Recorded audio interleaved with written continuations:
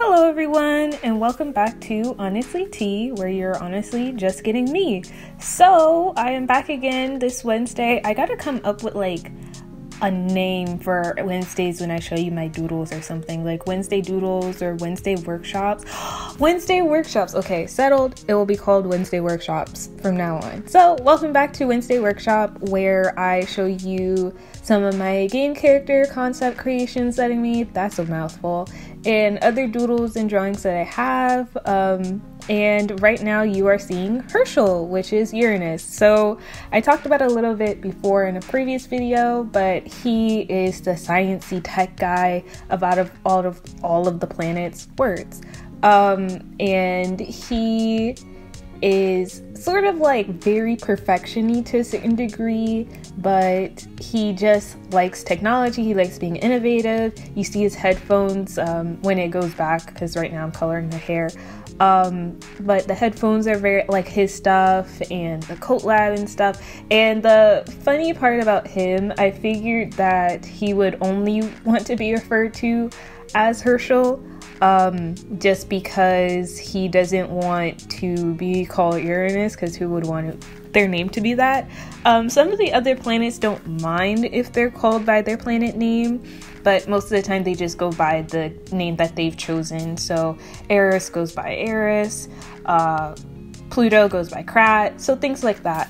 Um, I also talked about a little bit before, but I'll go a little bit more into depth. Um, but I made it so that in the the characters sort of don't uh, belong to one gender to say that they just sort of choose whatever gender they want to be or what they feel as they're being represented because again they're planets and they know that so this is just personification of them. So you'll see some other characters and other stars um, other constellations that may not be him or her but them or they might sort of change back and forth. So gemini does that a lot um, venus does that a lot uh, Mars does that a lot. So I, I liked how um, with Steven Universe and the Crystal Gems, they didn't really conform to a gender per se. Um, and they were sort of very fluid about that. So I wanted to do the same. They're just personification to planets. So to me, it's okay if they look more feminine or if they look more masculine. Because again, at the end of the day, they're planets. So um, he's more of the chill, fun-loving guy to a certain degree, but again, he he could be like a little fire hot ball. But again, he just loves his technology. He loves um, being crafty and creative. Um, and that's sort of his thing.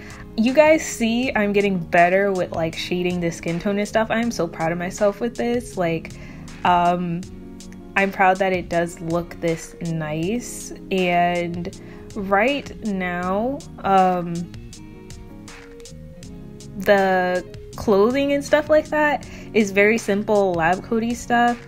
I figured that he is more, you know, simple because uh, he doesn't really have time for all of that. But yeah, this is Herschel. I hope you guys liked it.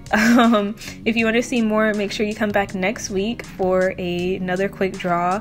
I believe next week will actually be Venus, I believe, or Neptune. It'll be Neptune. Um, but yeah, thank you guys for watching. And just remember, every second that you see is me just connecting pieces. Thank you for coming. Thank you for staying. Thank you for watching this video.